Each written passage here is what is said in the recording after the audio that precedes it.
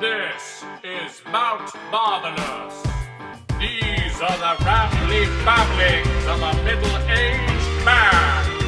Because this is Bunsy's Vlog! Hello and welcome to Bunsy's vlog. Now, um, today I want to talk about a a story that I saw. I saw in the news. It just made me giggle, and what it was was a hillbilly.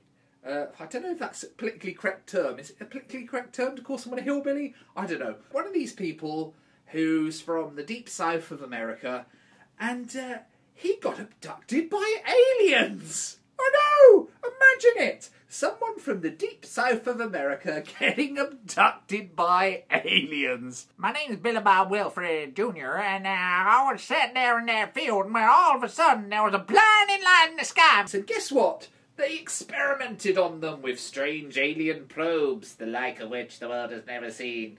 Bang! I was hit over the head with some kind of strange alien contraption. It really, really shocked me because I thought to myself, ooh, imagine that! A hillbilly getting abducted by aliens. That doesn't normally happen, does it? And then I thought, yeah, it does actually. It happens all the time, doesn't it? Because whenever you hear about a UFO abduction or anything like that, it's always it's always some bloke who looks like, you know, an extra in the cast of Deliverance, doesn't it? Quite often farming folk. Before I knew it, I was lying tied to some alien experimental room. I believe it was on a spaceship, but I'm not entirely sure. And I'm not exaggerating. If you don't believe me, look at some of the YouTube videos of people that have been abducted by aliens. Pretty much all the same. And then all of a sudden, this little guy, looked a bit like E.T., except it was bright purple, and he had a face like a vacuum cleaner.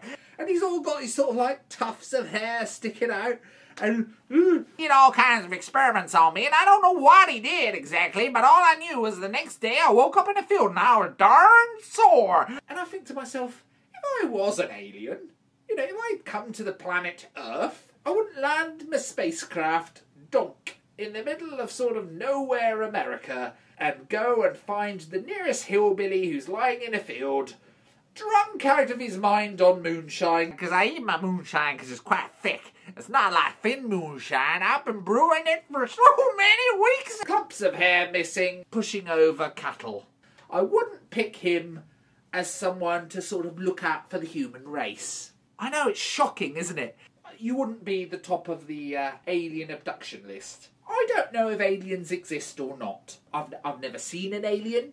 I, I've never seen a UFO. You don't believe in aliens? You don't know what you got coming to you when they come back and they do their probing. Because I tell you, I ain't ever been probed like they probed me before. I suppose if you think about it logically, chances are they probably do exist because it's more illogical that we are the only planet anywhere in space with sort of living creatures on it. Chances are there probably are some aliens somewhere. And I have no proof, and I'm not certain, so don't go, oh, you said there's aliens, you're mad. I never said that. I've not met an alien myself.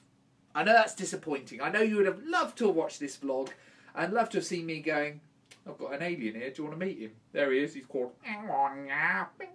But no. So who would I pick? If I was an alien, who would I pick as kind of a good example of humanity? And I thought, well, maybe, maybe I'd pick Stephen Hawking. He'd be great, wouldn't he? Stephen Hawking, he'd tell you so much, and he might even know more about the universe than I do. I'm obviously not saying aliens, listen to this, go and abduct Stephen Hawking.